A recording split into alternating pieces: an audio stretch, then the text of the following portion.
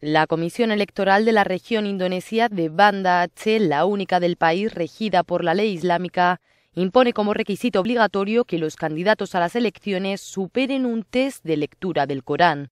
El organismo validó este miércoles a los seis aspirantes que se presentarán a las elecciones de 2017, después de que todos ellos recitaran correctamente pasajes del libro santo. La comisión también valorará a los candidatos en función de su capacidad por ejercer el liderazgo de acuerdo con los valores del Corán.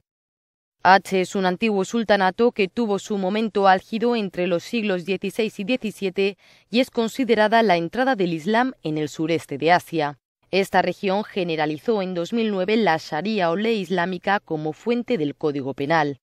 En los últimos años el radicalismo se ha extendido en este territorio de unos 4 millones de habitantes, donde la policía vigila la moral pública y se prohíbe que las mujeres canten o bailen, aunque se haya retirado la lapidación del Código Penal.